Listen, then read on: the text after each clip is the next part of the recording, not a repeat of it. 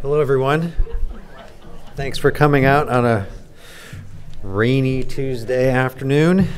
Uh, my name is Rob Casper. I'm the head of the Poetry and Literature Center here at the Library of Congress, and I'm delighted to welcome you to our kickoff event. What, it, what was, what is, and what will be a cross genre look at Afrofuturism, part of a celebration of Afrofuturism that will go into the evening and cross the street over to the Folger Shakespeare Library. Before I go further, let me tell you a little about the Poetry and Literature Center at the Library of Congress. The center is home to the Poet Laureate and Poet, Poet Laureate Consultant in Poetry, the only federally funded position for a literary artist in this country. It also hosts a range of programs, such as this one, uh, mostly here at the library, but also at the Hill Center and around town and really around the country. If you want to find out more about our programs, uh, you can go to our website, www.loc.gov/poetry. You can also sign the sign-up sheet, which is outside in the foyer. And we have surveys uh, on the chairs. We'd love to have you fill them out. I'll remind you at the end of the program, but um, please do so. You can hand them to me. You can leave them on the seats. You can leave them on the table. Wherever you leave them, we will find them and report on what you have to say. It seems like eons ago when dear Teri Cross Davis, the force behind the Folger Shakespeare Library's O.B. Hardison Poetry Series, contacted our office with the idea of celebrating Afrofuturism. Uh, and for those of you who know Teri, it's no surprise that she had a visionary plan in mind, as she often does. Much thanks to Teri, who's been so much fun to work with uh, over the years, um, for all that you've done, for all your behind the scenes work to make this happen. There was a lot of negotiating and figuring out and what made sense and how we were going to do it. And I couldn't be happier at what we have in store for us this afternoon and this evening. Uh, as I said, there's an event uh, at 7:30 p.m. just on the street at the Folger featuring our presenters. Uh, you should note that advance tickets are sold out, but uh, especially because the weather is not so great, uh, there'll be uh, a, a standby line, and, and when tickets, should they become available, you can pick them up. That stand standby line starts at 6:30 p.m. So if you don't have tickets, I'd say try your luck, and hopefully your luck will be good. Uh, I also want to thank our, present, our other presenting partner, the PEN/Faulkner Foundation, and in particular, Programs and Logistics Director Shahenda Helmi. Where is Shahenda? There she is. Thanks, Shahenda, for all that you did uh, making this happen. Um, I'm very excited now to introduce uh, the foundation's new executive director, Gwydion Suilebhan.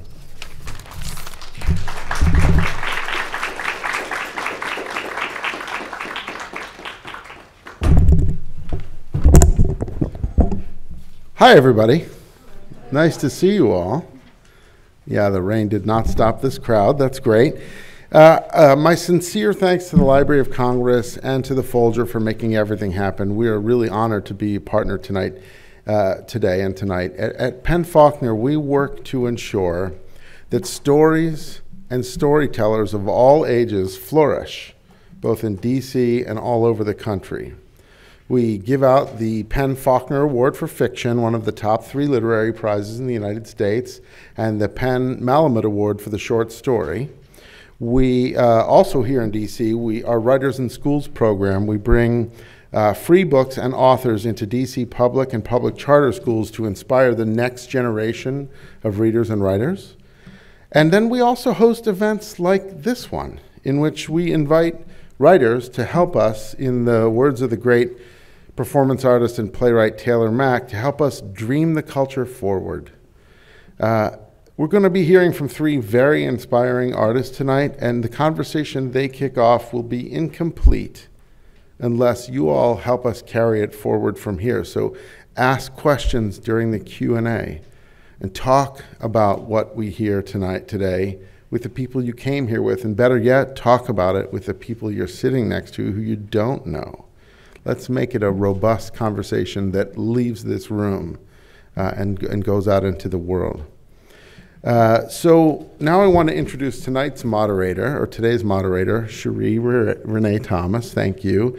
She's an award winning fiction writer, poet, editor, and her work is inspired by myth and folklore, by natural science and conjure, uh, her roots in Memphis, and the genius culture created in the Mississippi Delta.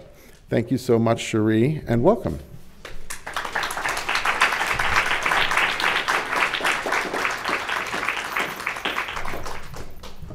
Thank you. It's so wonderful to be here. And thank you to Teri, who is a fellow poet and a magic woman in her own right. So thank you so much.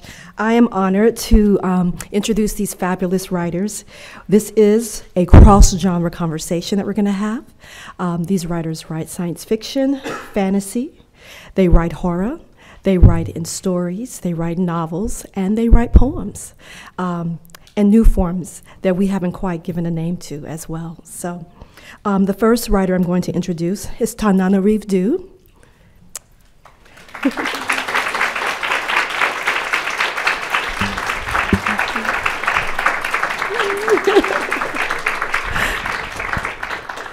Tananarive Due is an author, screenwriter, and educator who is the leading voice in black speculative fiction and in horror. Her short fiction has appeared in the Best of Year anthologies of science fiction and fantasy almost every single year.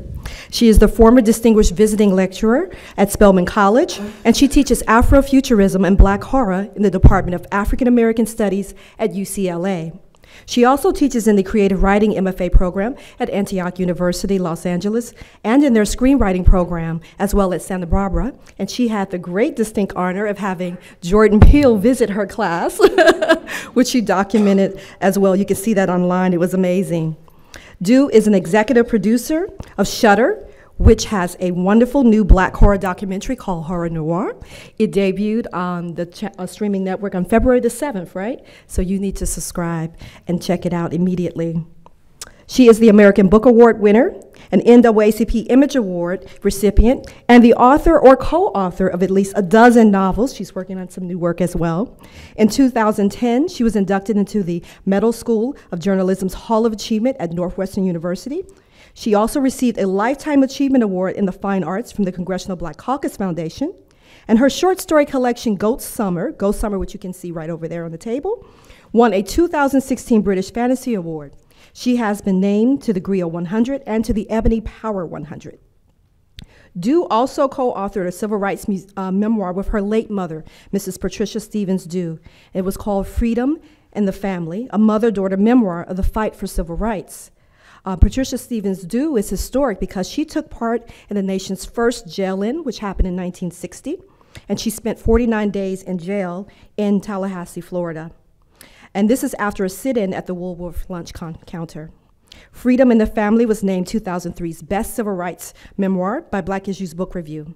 Her parents, including her father, attorney John Due, were recently inducted into the Florida Civil Rights Hall of Fame. So she comes from an amazing family. In 2013, Due co produced a short horror film, Danger Word, with her husband, Steven Barnes, and director Luchina Fisher. Due and her husband, science fiction pioneer Steven Barnes, also co wrote the short, which was based on their novel Devil's Wake. It starred Frankie Faison from The Wire, of course, and Silence of the Lambs, and Saoirse Scott. Danger Word was nominated for Best Narrative Short at the Bronze Lens and Pan African Film Festivals. Due has also collaborated on the Tennyson Hardwicke Mystery Series with Barnes and in partnership with the actor and author Blair Underwood. Due also wrote a historical novel about the life of Madam C.J. Walker, The Black Rose, which was based on the research by Alex Haley. She has a BS in journalism from Northwestern University and an MA in English literature from the University of Leeds, England. That is Tananarive Due. Thank you.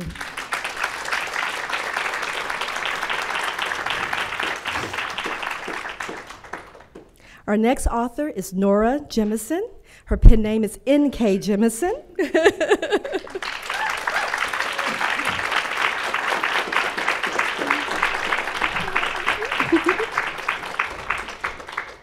N.K. Jemisin Nora is the first author in the genre's history to win not one, not two, but three consecutive Best Novel Hugo Awards, and all of them for her Broken Earth trilogy. Her work has also won the Nebula, the Locus Award, and the Goodreads Choice Awards. Her speculative works range from fantasy to science fiction to the undefinable. Her themes include resistance to oppression, the inseverability of the liminal, and the coolness of stuff blowing up. she is currently a reviewer for the New York Times Book Review, and she has been an instructor for the Clarion and Clarion West writing workshops. In her spare time, she is a gamer and a gardener, and she's also single handedly responsible for saving the world from King Ozymandias, Ozzy, her dangerously intelligent ginger cat, and his phenomenally destructive sidekick, Magpie. Magpie. Her essays and fiction excerpts are available, of course, on her website, nkjemisin.com. That's Nora. Give her applause.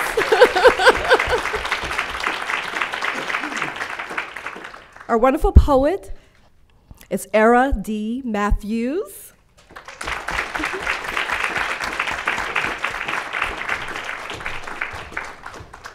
Airea D. Matthews is the author of the poetry collection Sim- Simulacra. I knew I was going to do that. Simulacra. Winner of the 2016 Yale Year um, Series of Younger Poets Prize. The New Yorker has described her work as fugues, text messages to the dead, imagined outtakes from Wittgenstein, start mini operas, fairy tales. Matthews is virtuosic, frantic, and darkly, very darkly funny. Matthews' work has appeared in Callaloo, Best American Poets, Harvard Review, American Poet, and in many other places. She was awarded a 2016 Rona Jaffe Writers Foundation Award, the 2016 Louis Untermeyer Scholarship from Bread Loaf Writers Conference, and a 2015 Kresge Literary Arts Award, as well as fellowships from Cave Canem Foundation, Callaloo, and the James Merrill House. Her current projects include a second book, Under Class, which seeks to lyrically deconstruct the accepted narratives around poverty and class. She is an assistant professor at Bryn Mawr College, where she directs the creative writing program. That is Airea D. Matthews.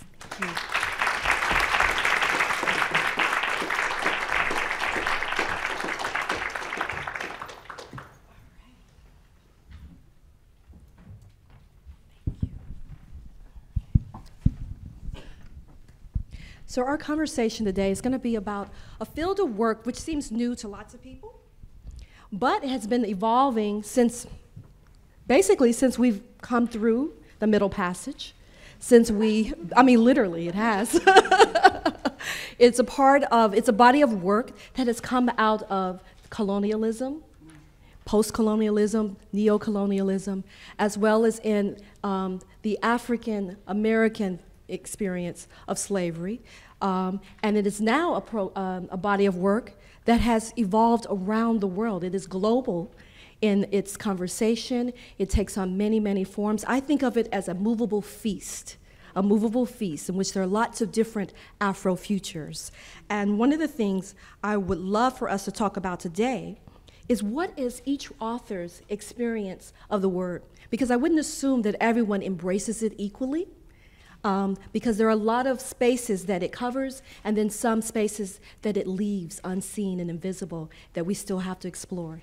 So we just want to take each author and have a chance to describe what Afrofuturism is or is not to them. Would you like me to start? Mm-hmm. Um, I view Afrofuturism um, borrowing from Alondra, Alondra Nelson's um, essay some time ago, uh, where she talked about the ontology of multiplicity. And I believe that as we kind of consider Afrofutures, the, the black body, both in present, future, past, we have to consider the ways in which we as authors can make the space time continuum collapse, how we can look back, look forward, and be present at the same time. And I'm very interested in that inside almost any text. It doesn't have to be poetry, any text, prose, poetry.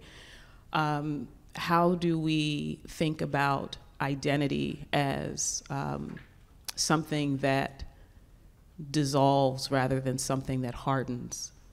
And uh, Afrofuturism, at least for me, allows that opportunity the opportunity to be many and one, the opportunity to be forward and back, and also the opportunity to think about at least my person, myself, as something other than what currently is. The imagination as a powerful force in in oppression, which is what the black experience in America has been. That was beautiful. wow. I'm thinking a lot about um, how I use Afrofuturism in terms of processing trauma as a horror writer. And that's something I got from my mother. So I co signed to all of that. So beautifully spoken. Yes, that is true. The piece of it that most attracts me is how to take evil, for lack of a better term, interpret evil however you may. it's very tempting as we're sitting here in Washington, D.C., to be very specific about it. but interpret it as you may. To, how to take evil, though, and, and create sort of a funhouse mirror image of it that is not the thing itself, but a visual or written expression of a thing that is frightening or frightful, and creating survivors. You know, I, I think of Octavia Butler's work, and her work is not largely considered horror in your work. I mean, you know, there are hor- bad things happen to people. Um, it's not considered horror, but there are lessons, even in that trauma. As we watch characters undergo trauma, it helps us perhaps leach out our trauma. And you mentioned my mother, Sheree. You know, she she wore dark glasses her whole life after she was tear gassed in 1960 during a nonviolent march, and she was the first horror lover in my life so I have really learned as I've gotten older, and my trauma was losing her. So I've really learned as I've gotten older to see that aspect of Afrofuturism, the, the aspect of it that's in the shadows, that's poking in the spaces in the basement, right? The things that, that are frightening that you don't want to look at. That aspect has been very healing for me and hopefully is uh, for others. But I really want to echo this idea of a conversation between the past, present, and future, because that's also something that's very deeply woven within the way I address uh, trauma in my in my work. Um, I am painfully aware all of a sudden I'm the only non academic up here. Um, so I don't have anything super eloquent to say about ontologies and so on. I'm not even really sure what that is. But um, but as I guess as a practitioner, um, um, which all of us are, um, which which everyone who is living and surviving in this country today, to some degree, is a contributor to Afrofuturism. I don't sort of traffic in in labels and names. That for me is a thing of uh, academics. Um, I write what I write.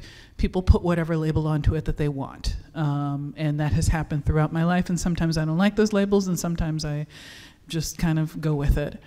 Um, so to me, Afrofuturism, as I grew up with it, was music, was visual, um, was were, were, things experienced with the senses. It was not so much. Um, they were things that impacted your thoughts um, through visuals and through through uh, ideas, but not so much kind of like directly um, engaging with the future. Not so much directly a story set in um, another world, another past, another life that could have been. Um, Parliament Funkadelic was Afrofuturism, uh, Brother from Another Planet. Um, these days, Janelle Monáe is Afrofuturism to me. Um, I'm still coming to a place of acceptance that now Afrofuturism is texted, um, is textual, um, and uh, I am I'm not really 100% there yet because for me there's there's certain power in visuals and imagery that I I know that text can do, but since I am not a person who visualizes my own text, it's hard for me to put those things together. Um, so you know I'm I'm I'm accepting it. I'm slowly going to do so at some point. Um, not there yet. Um, but I am also deeply and painfully mindful of the fact that once a word reaches Library of Congress level mainstream, um, at that point, that word has transformed beyond its intention, its original intention, and maybe is no longer a useful word. Um, so, you know, because uh, I will share a simple anecdote of uh, I got a call from a production company that was interested in me writing um, something Afrofuturistic. They said for uh, for some film that they were going to do or something. Um, and first off, then I was like, I don't write screenplays. I don't know why you called me. But anyway, um, so they, they asked me to do this, and then I was like, well, um, so what, what kind of topic were you thinking about here? And they were like, well, we want something set in Africa in the future. and I was like, well, I've never even visited Africa, so maybe you might want to find someone else who's from there. Um, you know, there are lots of writers out there from many of the countries in Africa. You might want to have a conversation with them about what they would con- consider doing. Um, but to them, Afrofuturism was this incredibly limiting and super narrow um, lane that they wanted me to stay in, and I don't drive in that lane. I've never been there. Um, so, so I am mindful of the fact that maybe we should start looking for the next word to come. Maybe Afrofuturism is not the word that we should be um, trafficking in any, anymore. Um, but for now, I'll take it. It's so interesting that you talk about music and other forms, performing arts, visual arts, as being your initial experiences with Afrofuturism and how that's really been a journey for you to think about text work as Afrofuturism. Um, I would say the same for me as well. I think one of my earliest um, experiences with music as well that I would think of as Afrofuturism, of course, was George Clinton, mm. Parliament, funk, you know, all of those things, um, as well as Alice Coltrane and John Coltrane, some of their music. Sun Ra, of course, being of the South, was very fascinating to me. How does a man, you know, from you know the deep South, the Bible Belt, um, reimagines himself as an Egyptian um, god of some sort, an alien has come um, to the um, to the planet. But when we think about um, the experience, the experiences with an S, of being black on the planet, wherever that is, whether it's in the America or on the continent of Africa or in, in the numerous places of the dias- other parts of the diaspora, um, you realize that you are already in a dystopic reality. You are already a part of that. You know, Kodwo Eshun, uh, a black Brit who wrote about this um, deeply in the 90s, talked about the first ships. Um, the first contact, close encounter story was of you know, us being taken from our homes in Africa and being brought to this other place for a whole nother context. And um, it's sort of an alien UFO experience. And how do you, how do you write about that?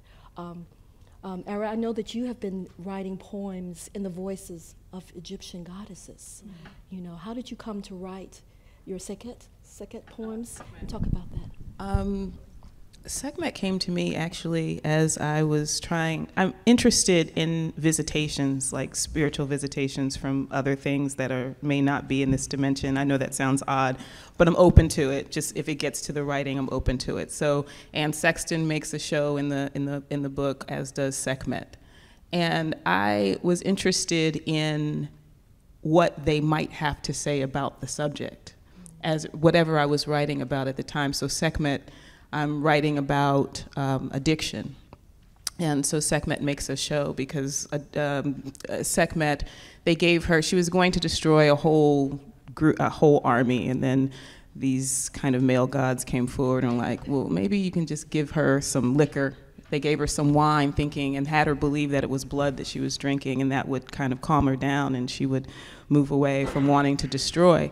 And I just kind of thought about all the ways that we try to calm um, try to calm our natural natures, try to house our natural natures inside of something um, that is not what we want. So someone offers you something that's not exactly what you want, but you take it anyway. And so Sekhmet came to fore for me. I started thinking about what it is that she had to go through, how she, she was probably, and they have documented in myth that she drank a lot.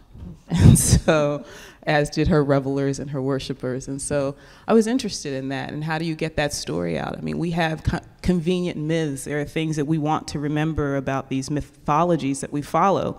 Um, but we don't actually get down to the root of the story of the myth. Like, what was the very human nature of the god? What was the very human nature of the entity that makes itself, forwards itself in any kind of mythology, whether it's Greek mythology or if it's myth Egyptian mythology?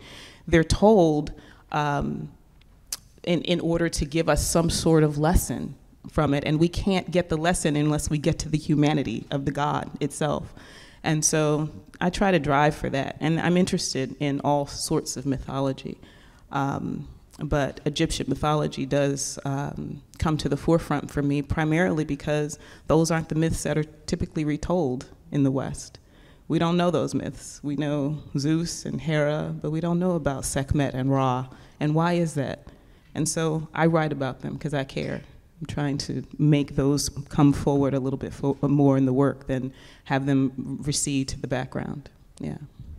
I know during the Black Arts Movement, there was a conscious, deliberate effort by artists, um, Amiri Baraka, Ishmael Reed, Sonia Sanchez, um, other art artists like Alice Walker, to go back and reclaim some of the mythologies of the world and also tell our folk tales, our stories as well, and give them the same type of seriousness that um, Greek and Roman mythology have been taken.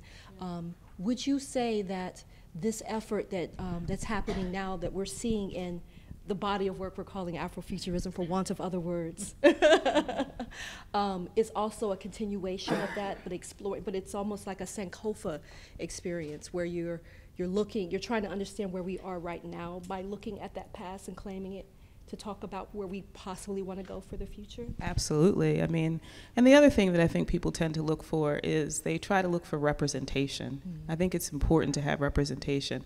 And if you can find those Af- African mythologies or the African philosophies that cater to what it is that you're interested in writing about, you can see a mirror in some way.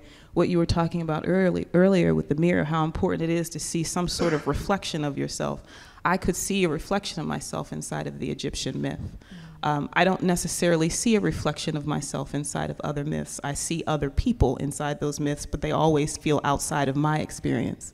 So um, I do try and dig a little deeper and find where I can the myths that are uh, important to me and representative of who I am uh, and what I happen to be writing about at the moment. So yeah, I do believe that's important. I know when I was looking at your work, I was reminded of Audre Lorde's work a bit, um, the oh, Black Unicorn, the Black Unicorn. I was thinking, really like, what other speculative poetry tradition do we have? You know, what other poets are writing these kinds of works? And I'm thinking of Robert Hayden's, you know, mm-hmm. American Journal, mm-hmm. or even some of um, early poems by Countee Cullen. For sure. Whatever. And then yeah. I'm also thinking of maybe Phillis Wheatley, like the whole ideal of imagining yourself free or imagining yourself outside of a white supremacist culture right. in itself is a, an act of futurism. You are, it's an optimistic, hopeful um, mm-hmm. act as well as a creative act as well. Yeah. Um, Nora, in your work, you have decided to create your own gods and to critique them, to, to really expose them, as, as Airea was saying, the human parts of them, um, to make that real for readers. Can you talk a little bit about what your journey was coming to that? How did you come to to building that work? And I know you have a new, she has a new collection that she hasn't, we haven't talked about. well, I mean, a lot of the, the stuff that's in the collection is is proto forms of the novels that I wrote. Remind them of that book. Uh, the yeah, the collection. Uh, my my latest uh, thing that's just come out is a uh, collection of short stories called "How Long Till Black Future Month." Thank you for oh, the show and tell. That's such a great cover too. Yeah, it does. Uh, with uh, the cover images made by Creative Soul Photography, the guys who did the uh, series of Black Victorians um, that ran. They're an Atlanta-based photography group. It's kind of awesome stuff. Um, anyway, though, um, so the the journey that I came to write my own gods was probably similar to what you were doing because I was I was enamored of mythologies in general, uh, all mythologies. Um, kind of beyond what I was taught in school, which was just you know sort of basically Christian, which is has its own mythos form. Although we didn't learn too deep into that. Um, we I grew up. Uh, I was educated in Alabama, so uh, we got the Protestant flavor that. We did not get a whole lot of Catholicism or Judaism or any of that. Um, but uh, so and and Greco-Roman. And uh, so, for fun, I read mythology as a kid. I read about the Egyptian gods. I read about um, American, uh, Native American, indigenous peoples' gods. Um, and the thing that always fascinated me was the ways in which gods um, reflect humanity um, and, and hold up a mirror to humanity. Um, there was a, a, mythic tradition there of using God, you know, to explore yourself, um, and that was a thing that I was just kind of fascinated by. Um, and the ways in which those mythic traditions impact people. Um, what you can imagine is what you can become. And so, in order to imagine new worlds, if I'm writing things set in worlds other than Earth, I've got to reimagine what those people are capable of imagining. Um, and so, you know, you end up kind of writing about imagination itself by literalizing it that way. I don't know if that answered your question. No, no, okay. Yes, it does. I mean, because the whole act of of science fiction, fantasy, horror is world building. It is cr the creation is asking what if. Mm -hmm. All writers ask what if, but in in our genre, we get to play with the answers more, do a lot more. Um, Tananarive, can you talk a little bit more about? Um, I will say this: my very first introduction to Tanana Tananarive's books was when I was working um, with Cheryl Woodruff, an editor at Random House, and she knew I liked the scary stuff. And she said, "You like that dark, scary stuff, Sheree." So she pulled out your novel the Between, which is our very first novel.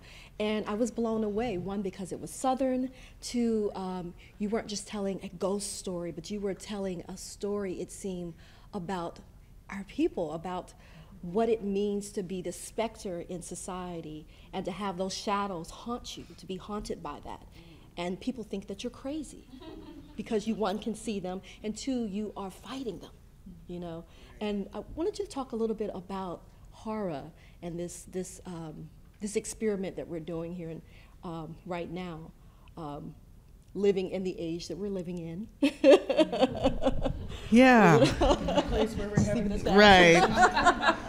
Whew, where do I begin? But um, I want to go first to that question of world building and what that means, and especially when you can sort of see so much fraying and so much crumbling right before your eyes. Right? The idea of world building becomes so much more literal and important. And you, there's this idea that you want people to read your work and then put it down and do something, right? It's, I mean, it's not that there's anything prescribed in the work. It's just like how do we, how do we do this? So. For me, a lot of that, you know, self care, uh, or really world building begins with self care. Let me put it that way. Um, the, my parents' civil rights generation taught me looking at their friends, the people who were my parents' peers from the 1960s, so many of them were burned out, were traumatized. When we wrote that civil rights memoir, it was hard to get some of them to even talk about it. They hadn't told their families they were arrested. One woman who was in Mississippi with my dad, a night he still reminisces about, almost cheerfully, she never went back. You know, so different people had different experiences, and I began to realize, you know, this is like, uh, PTSD. You know, this is like these were veterans of a war, but it was an unspoken war, and it was happening right here in your own country, supposedly, right? Unaddressed. So, yes, I think she did bequeath to me sort of this sick delight from creating stories that scare people. I mean, I love when people tell me, "Oh, I read your book, I couldn't sleep." I'm like, "Yes." Join the club. No.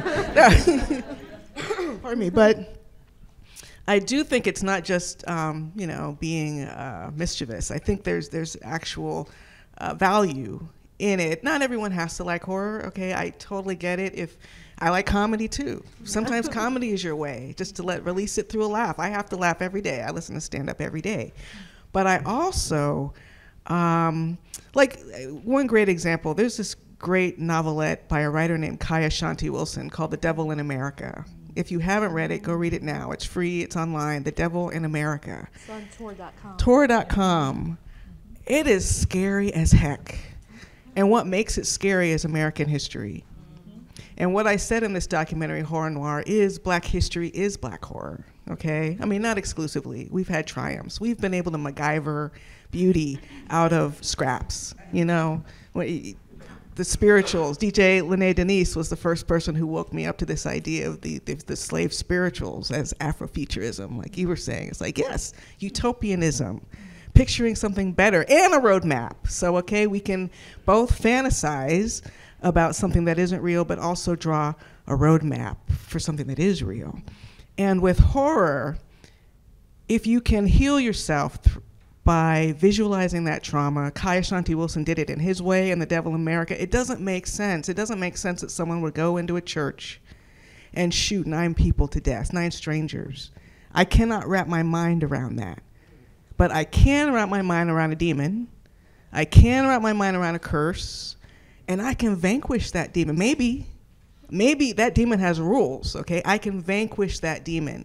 And even if I can't, I can create a character who shows me how to walk when I'm facing a demon, whatever the version of my demon will be. So I think that's what attracts me to horror, and I think that's the value of it. And I very much do like to weave in those horrific aspects of American history so people can, first of all, look, this happened, you know, because so often now we're, we're having this cultural amnesia where people don't remember. When I was a child, the whole country stood still and we watched Roots as a miniseries. I can't even imagine that today. So, um, yeah, this happened, but also, this is how you fight. So much to unpack in that. You had all these amazing references. Tor.com, of course, is where um, lots of um, wonderful writers are being published. Um, online it's absolutely free, so definitely check those works out. But also this idea about um, demons being vanquished, this, you know, horror encapsulating the things that we're afraid of in our culture. Um, horror, whether it's zombies or whatever, what is that really about? You know, is it a fear of homelessness? Is it a fear of um, a biological disease that is uh, becomes epidemic? Like, what are we? Is afraid? Um, is it a fear of the underclasses taking power, taking control? See, that's what know? I think. I think I, I start to look at zombies now as like that fear of other. The fear of other, and this idea. Um, there's a beautiful quote actually that Nora had, and you talked about. Let me see if I can find it in my a zillion notes I wrote for this. this idea of why, um, why you write, and this this ideal of what it's supposed to be doing. So here is why I write what, what I do. We all have futures. We all have pasts. We all have stories. And we all, every single one of us, no matter who we are, and no matter what's been taken from us, or what poison we've internalized, or how hard we've had to work to expel it, we all get to dream. And when you're writing about these things, whether it's um, science fiction, fantasy, horror, whether it's in you know a story, a novel, a poem, you are redreaming the world. You are looking at it, but in order to redream it, you have to gaze at it with a hard stance. You have to really tell the truth. And what I love about these writers here is that they they have all of this truth telling in their art. They don't shy away from the hard work of telling the stories of that past generation that was broken up. They, they, they sacrificed all this to be activists, to try to, to make present, to be the change in the world, right? And then they were spit on. And then they were, dogs were sicked on them, and their bodies were broken, and their vision was damaged. And some of them lost their lives. I'm from Memphis, so we're constantly, you know, reliving that wound of Dr. King's murder, you know. Um, but this ideal, out of all that, that fear, all of that trauma, whether it's Trayvon Martin or Sandra Bland, we can redream of what the world should look like. And how, as you say, how we might walk that walk, you know, how we might model, even if we fall down. Can you all talk a little bit about what you do as artists to sustain yourselves in the falling down process? You know, sometimes on the outside we see the beautiful books, the the beautiful covers and everything, and it seems like a, a crystal stair of an experience for an artist. But there's a lot of darkness in that too. How do you take care of yourself? How do you sustain? What are the models? How do you build community? Um, this is the thing I've been struggling with. So I will, I will share the fact that that is a struggle for me. Um, my writing is the means through which I process all that I'm experiencing. Um, you know, I, I have this really vivid memory of a really hot summer day um, while I was working on the fifth season.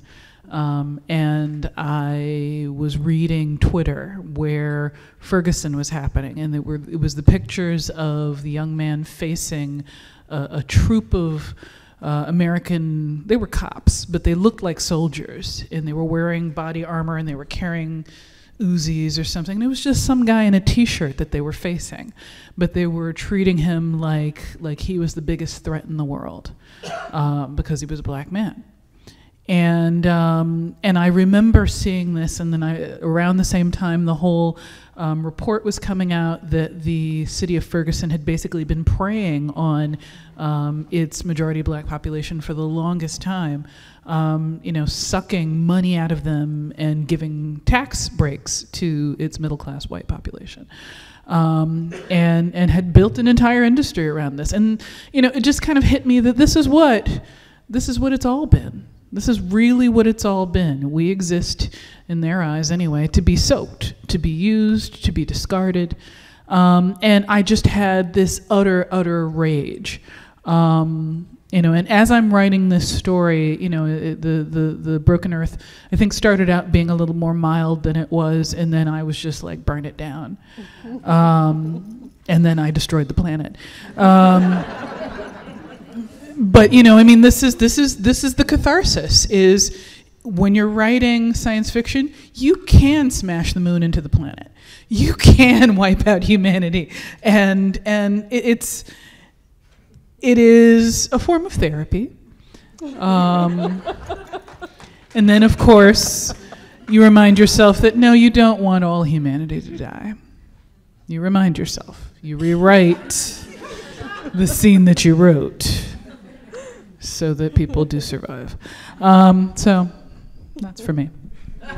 You know, when uh, when you mentioned Ferguson, I think of my first moment of that realization. Like, oh wait, Black lives don't matter. You know, I was about 14, and there was a, a group of police officers who had been acquitted after beating a motorcyclist to death, and then they tried to cover it up and pretend his motorcycle had crashed, and there was a big journalism expose. But even with all that, couldn't get a conviction, and Miami burned, you know. And um, I was sitting in my junior high school cafeteria. They were playing Muzak to try to calm us down. It was a tri-ethnic school, so really it was just making it worse. But anyway, I started writing this like utopian sort of prose poem. You know, I want to live. The first line was, "I want to live in a society where Jew is no longer a dirty word.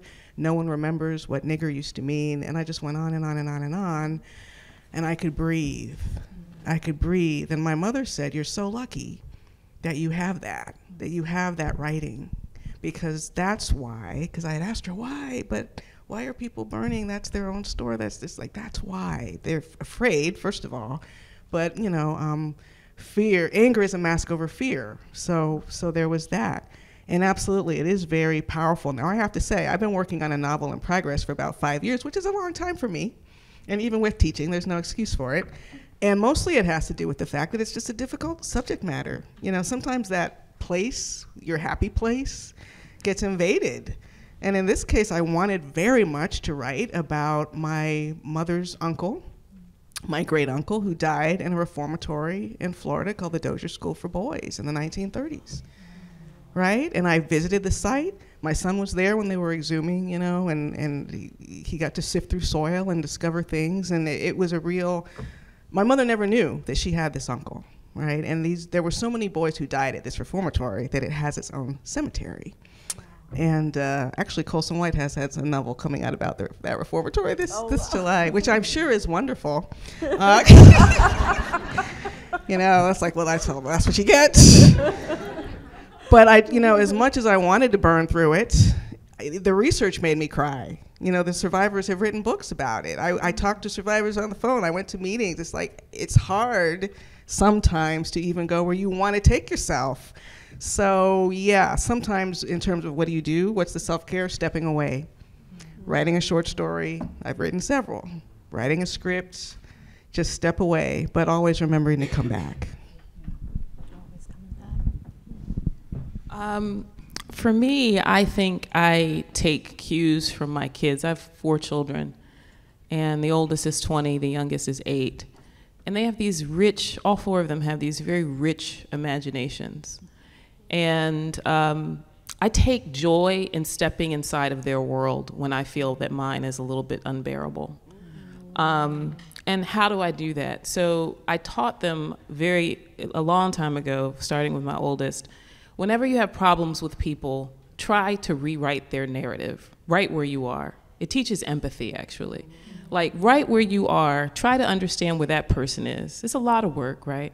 But try to understand where that person is and rewrite their narrative. So, we used to practice doing that by going to parks and watching people who were perfect strangers who were doing either doing things that were odd or doing things that seemed slightly off off center if there is a center and I said, okay, let's rewrite their narrative. So we just start coming up with things, retreating into our imaginations about why that person may have done the thing that they've done. And it trained them to always view other people with empathy, but also get out of our own narrative about what that person, who that person is. And by doing that, that actually helps me a lot. I rewrite people's narratives all the time. I'm very interested in imagining people with, um, with a lens toward empathy, with a lens towards trying to understand what makes them do what they do, particularly when they hurt and offend.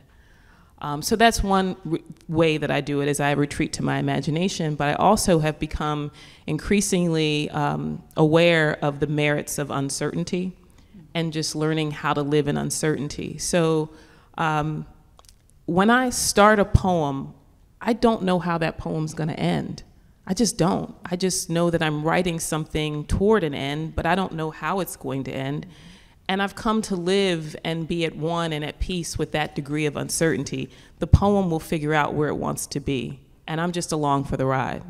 And so I think once I started doing those two practices with regularity, on uh, not just my writing life, but just my everyday life, there was a certain calm that came over me that helps me to care for myself and for other people as well. So, what we're hearing as part of this process, sometimes taking a break, stepping away to recenter yourself, um, sometimes going, diving into the work and creating it and doing that hard thing, blowing up the planet, and then figuring out your way how to be compassionate and loving and optimistic about it all over again, you know. And then also just being a witness as well, right? Being a witness and, uh, and observing, um, as my friend and poet, editor uh, Duriel Harris says, those experiments of joy, watching the experiments of joy that are taking place all around us at the same time, you know. That's part of it too. All of that's in the afro future okay? All right, all of that is the practice. We need to do a handbook on how to survive um, this current apocalypse that we're in um, and how to get to that other future. Um, one of the things that um, um, I'm always curious about is why we have so many dystopias versus utopias. Like we know that we're living in, you know, some challenging times, and you know, we always thought, okay, it was worse then, you know, we're, everything's better now, and then you look up again and you're like, wait a minute. it's a, re, you know, we're, we're, we're going back and forth in time here. But it seems like the idea of writing a utopia seems to be like the, the, the black unicorn of the genre. Mm-hmm. There aren't very many. Um, why do you think that is, and what can we do about that? Because in order to, to build the future, right, don't you, you have to imagine it? Can we not imagine it working out? I don't actually have an answer to that. but I jumped to my microphone because I was on a, a program um, with Angela Davis a couple of years ago, and she spoke to this this question of Afrofuturism and how even if you're not going to live to see it, you have to believe in that future to do the work, right? So I think on one level, even when we're writing dystopia, and I'll use Octavia as an example because I think Octavia Butler and so much of her work was like, wake up, wake up, you know. Um, if she didn't think that would help, why do it? Why, why shout? Why, why try to bring attention to behaviors like if we uh, continue along this path, this is where we're going? I don't know the last time you read Parable of the Sower, but it feels closer and closer every time you read it. Some of us are already living in Parable of the Sower, right? And, and it's, it's this desire to create something better. And the seed of utopianism in there is this religion Earthseed that she created that some people actually do use as an actual religion. So it was helpful enough. It, it was something that could help people move toward something better than what she was depicting. And I think that's a piece of it that sometimes our utopias are disguised as dystopia. and I'm in a I'm in a an anthology right now um, called "The People's Future of the United States." I think you have a story in there too, right? Right? Yeah.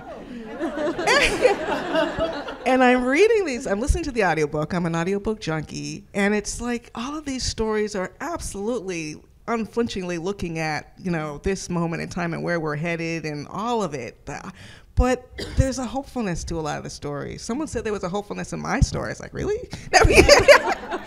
but I, but but I think yes, I think because we do we do believe that it can be better. Um, I want to piggyback off of you saying that a lot of our utopias look like dystopias, but I, I feel like that's because there tends to be a perception, excuse me, in, in the American zeitgeist or wherever, where uh, utopias are just straight happy times. Um, you don't depict ugliness, you don't depict people as they really are. Um, which to me is doing a disservice to humanity. That's not an honest utopia.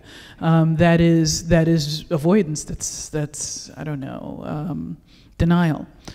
And so, in order to truly show a world that could be better, you've got to engage with what the world is actually like. Um, and I found myself struggling with this. Um, not too long ago, I decided that I wanted to write um, a story that depicted a, a, a world without bigotry. Um, and I struggled because I'm like, how the hell do, like, I am the product of a culture that has spent hundreds of years refining how layered and hierarchical we are going to, to construct ourselves to be. Um, and I, I, I, had a hard time even imagining it for a long time. Um, and then I ended up writing a, a, story called The Ones Who Stand and Fight, which is uh, in the, the How Long Till Black Future Month. Yeah, it's, it's actually uh, me speaking back at an Ursula Le Guin story uh, called The Ones Who Walk Away from Omelas. Um, and in Omelas, I'm sorry, I have to spoil it. It's been 20 years. It's too late. Spoiler statute of limitations is gone. Um, in Omelas, Le Guin imagines or, or asks us to imagine a truly amazing and beautiful society. Um, but then she shows us the worm at the heart of that apple. Um, because so much of our society is amazing and, and, and, astonishing when you really kind of consider it. We live in the future. Um, and yet, uh, for our amazing smartphones, there are, are children dying in cobalt mines um, to, to pull up the materials that we use to make it. Um, so, you know, Le Guin was like, basically, this is what we've got. This is where we're living right now. Um, and so I decided that I wanted to try and envision and, and ask uh, readers to envision a world that was um, bigotry free.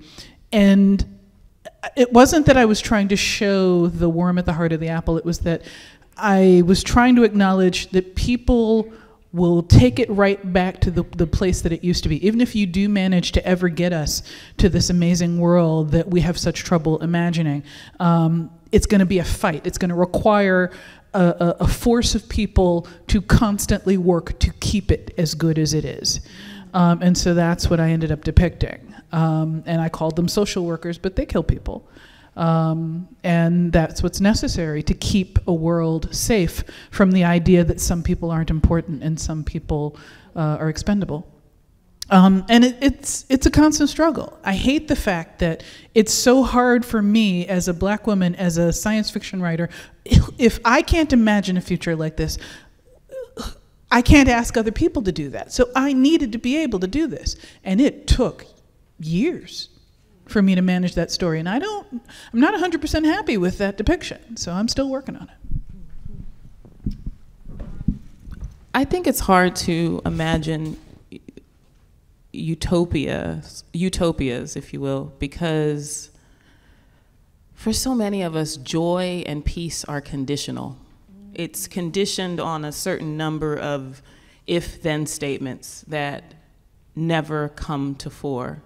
They, they, they just don't. And so I then resort to thinking about joy, if you will, as opposed to utopia, but just pure joy, like joy in small things and how one gets to that. Because even in these kind of dystopic novels, there's still people in there that are living their lives happily so. Like, you know, just they're, they're still living their lives to the best of their ability. I think about my grandmother. She had a fifth grade education.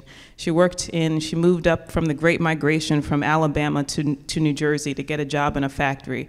By my calculations, she made 73% less than the lowest paid white woman at the same factory doing the same job. She would come home every day with a smile on her face. And I asked her why, my grandmother also drank a lot, so let me just say that. It was, but she had to find joy. It was self care, right? So she would come home every day with a smile on her face. And I remember asking her one time, why was she so, why was she smiling? And she was like, I have enough. I'm, I'm fine, I have enough. And maybe utopia is just enough, you know? Like the best we can hope for here is enough. And not kind of in the materialist sense, but in the purest sense, like I have enough. But also that she could look in the faces of her grandchildren and see future.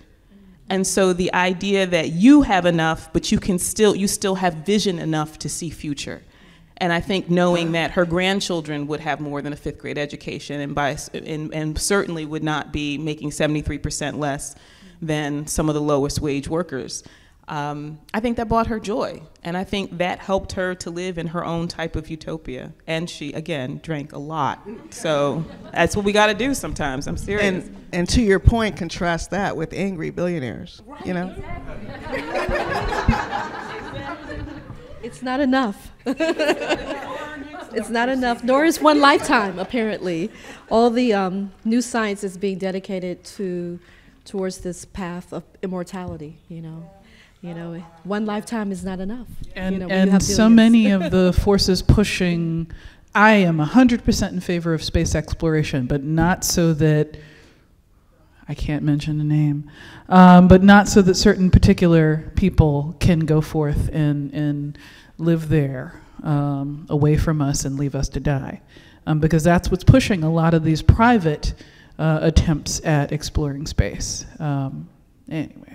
And what do you think about the, the films that all make that inevitable? That the whole purpose of space, space exploration is to create a suburb for affluent people. A suburb, a, a walled suburb, a gated community, where the gate is literally you gotta ro- gotta have a rocket to get there. Yeah, You know, I want a movie where we're already there. We're like, hey, welcome to the moon. What took you so long? You know, we're already here. You know, but um, I mean, this is this is the thing that I was that I was trying to work through. We live in a society in which there are multiple systems and multiple organizations dedicated to keeping us thinking the way that we do, dedicated to making us believe that a better world is impossible. So, of course, if we ever manage to get out of that, we're going to have to have societies and systems designed uh, to, to work against falling back.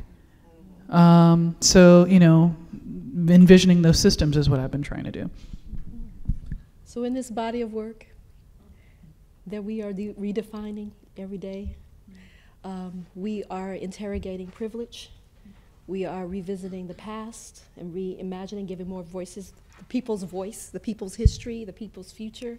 Um, you know, taking up Zinn's work, that monumental project, and forecasting it into the future um, by writers who are often seen as invisible in the genre, you know, or have been until history, till history, right?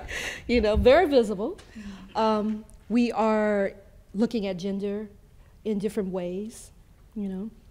Talking a little bit about Ursula Le Guin, of course, and her pioneering work in the women who were writing so bravely and boldly then. Um, thinking of James Tiptree Jr., which I think, I, I won't say who I thought it was in case I misquote him, but very famous writer, a very famous Golden Age writer, said he would eat his hat. Is that what he said? If, if, she, if James Tiptree turned out to be a woman? I don't know about the one who said he would eat his hat, but he uh, refused to engage with the idea, if it's who I think you're talking about. He refused to engage with the idea that it could possibly be, the Tiptree could possibly be a woman because there was something ineluctably masculine about his writing. So these writers are always, um, even just by the act of creation and publishing in an industry that says it wants diversity, and then does many things to try to undermine it at, the same time. Um, uh, we won't go there though, right? You know, I was uh, I was in Toronto last week when we were doing a screening for Horror Noir, and a woman raised her hand and said, "I'm so glad you did this because I write speculative fiction."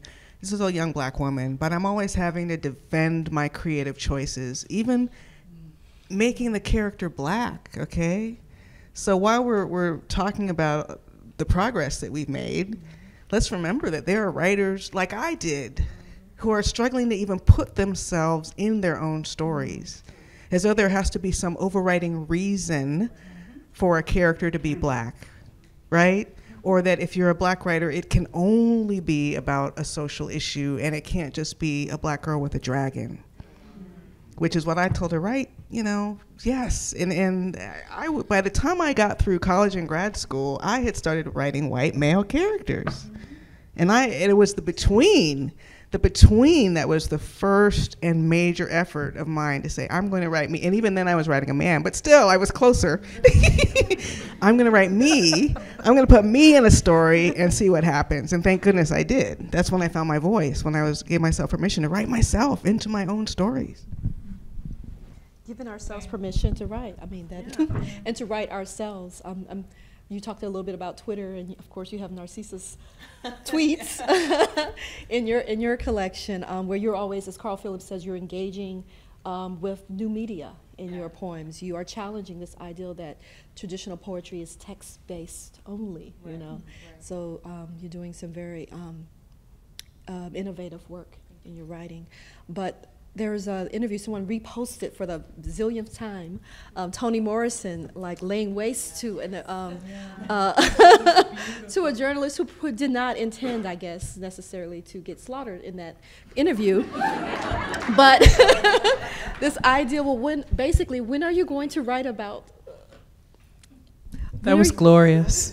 It was glo- it, it was a clip from some interview. I don't know when this interview happened or what the context was, um, but basically the the the reporter who presented as a white woman um, asked uh, Ms. Moore, sorry, Doctor Morrison. Um, asked um, basically was kind of talking around it but then basically was like well when are you going to write uh, white people in a substantial way into your fiction um, and was basically like when are you going to grow up and start doing the real stuff um, she didn't say that. That's my interpretation. The let me not. Let me not. Yeah. That was my imper- But Yes, like the yeah. tone, facial expression, all of it was like, well, you know, you've done very well at writing this this nice black stuff. So, but you seem to be a good writer. So why don't you do some real story? That was my interpretation. The term That's she my used dramatic was mainstream. when are you going to write the mainstream Yes, Yeah. yes. And she's and Toni said back, "I am the mainstream." Um, you know, she she tore the woman apart. She was just like, "You don't even realize how just unbelievably racist that was." The the question that you just asked me just was, you would not ask white writers when are you going to write somebody black. So you know, I am the mainstream. She had re re she had flipped that whole thing. She had flipped that script. The woman was trying to catch up. So anyway. trying to catch up. um, Toni Morrison said, "I stand on the on the margins. I stand on the margins, and I claim the center as my center. I am the mainstream." You know, and it's just an amazing, amazing interview. Um, are there any last thoughts that you want to share with our audience about your journey through the area we call Afrofuturism? One thing that comes to mind, this idea, I mean, yeah, we are the mainstream, but at the same time, we've also been pushed to the margins. And there's something about observing from the margins mm-hmm. that gives you a different view. And it's so valuable. You know, it's, it's a valuable contribution when someone who hasn't been invited to the party can write about what's going on outside while y'all are at the party. Mm-hmm. And it creates a leadership potential so that when the lights go out and the music stops and everyone's like, whoa, where'd the party go? There are these people who are already out here saying, yeah, we knew that. Now here's where you go, here's the path. And, and there's a lot of leadership potential there in, in Afrofuturism. Okay, create space. Yeah, create space. And direction. And direction. I want to go back to the question. You, you didn't bring it. You brought it up, but we didn't go forward with it, which was about publishing. Oh, yes. Um, I know from because of the content that I write, the types of things that I like to write, it is often very difficult uh, to get my work in mainstream publications and mainstream poetry publications. It just is. I am the only Yale Younger who's never been in Poetry Magazine. Why? It's because they don't understand what I'm doing. And I'm okay with them not understanding what I'm doing. I'm okay with them having that degree of uncertainty because that makes me think that I'm on the right path. If I am moving in the direction of, um, of being completely and universally understood, then that goes against what I'm actually trying to write. I don't write for universal understanding. I write so that I can understand it and make sense of the world that I live in. And that is my form of Afrofuturism. I'm making sense of the world that I live in according to whatever criteria I lay down on that page. And uh, which brings up the point that you were talking about. Afrofuturism can be, um, it can be joy. It can be uh, about oppression. It can be about any topics. It can be about new world politics that we haven't even imagined. It can be about any of those things. I think the, the definition continues to widen, which speaks to your point, Nora, about really probably needing a new word because it's not actually all encompassing in terms of what Afrofuturism seeks to do. It seeks to deliver a future. Futures come in many different forms. Um, so I just encourage anybody who's uh, thinking about writing speculatively or is thinking about writing in a different um, way than other people to continue to do that, write what you'd like to write, but also broaden your definition of what future means. Thank you. Thank you so much. Thank you all.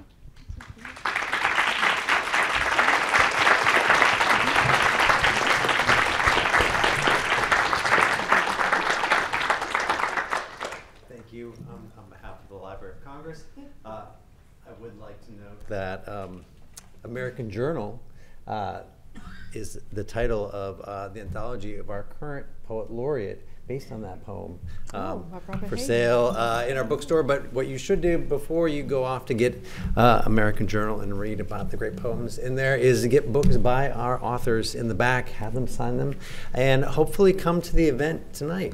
Uh, as I said, uh, it's sold out, but um, there's a standby line. Uh, I'm sure you, like me, want to hear uh, each of our authors read from the works they've talked so eloquently about. So until then, thanks so much. Please do sign, uh, fill out your survey sheets, uh, sign up our sign up sheet in the on the back. Uh, we'll let you know about future events. Thanks so much.